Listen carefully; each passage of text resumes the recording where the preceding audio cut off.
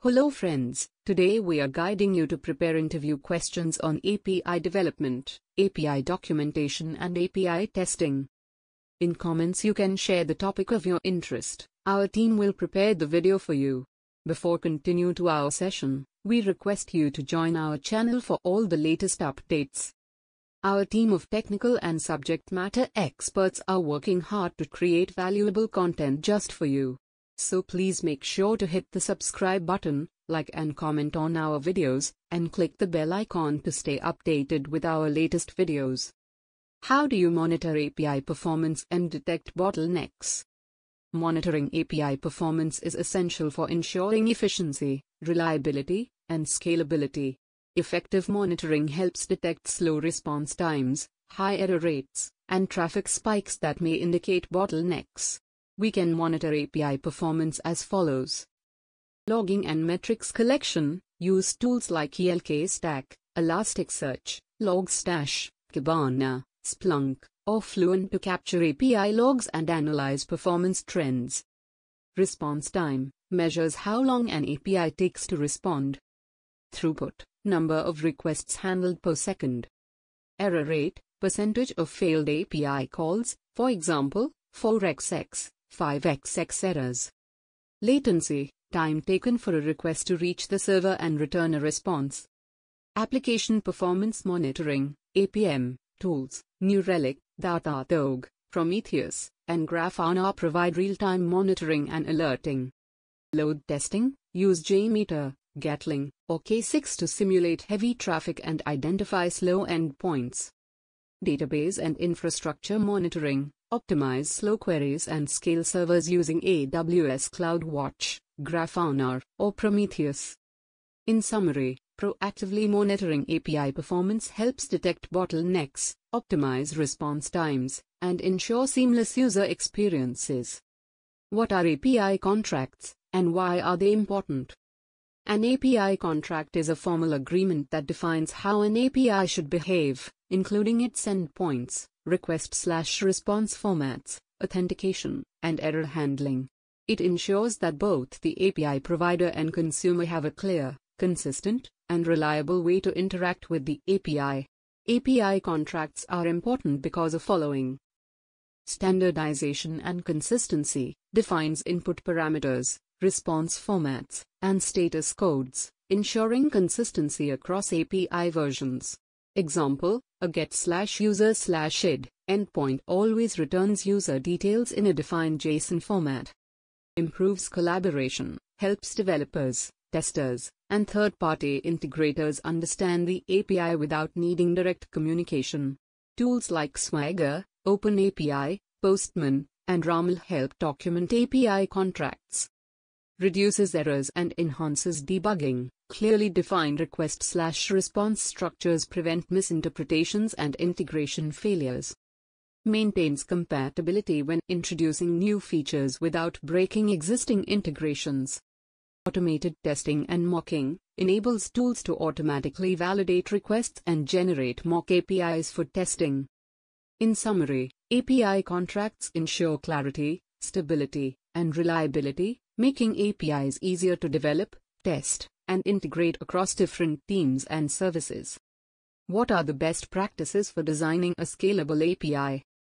A scalable API can handle increasing traffic, large datasets, and growing user demands without performance degradation. Below are key best practices.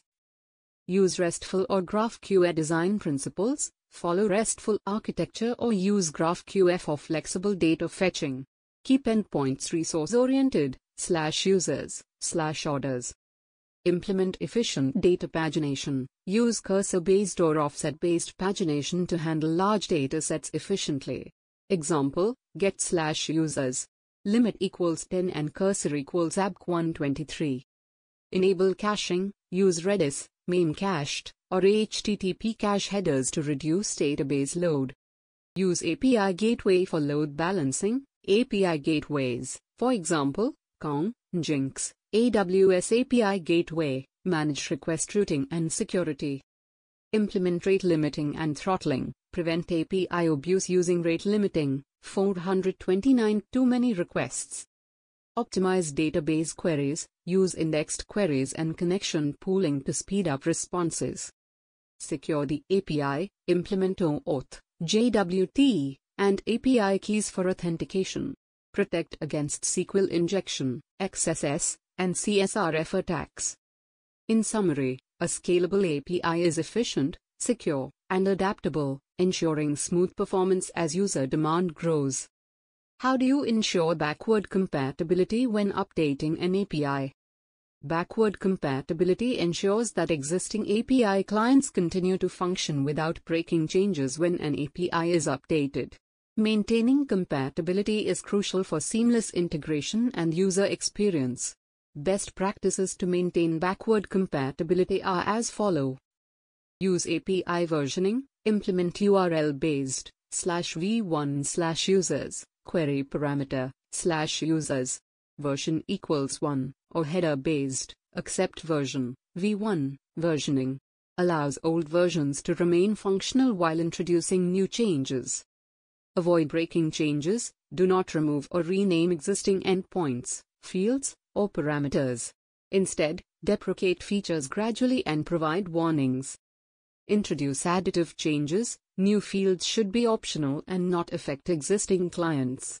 Example, adding middle underscore name to a user API response should not break existing integrations. Use feature flags and graceful deprecation, allow clients to opt into new features while maintaining old behavior for others.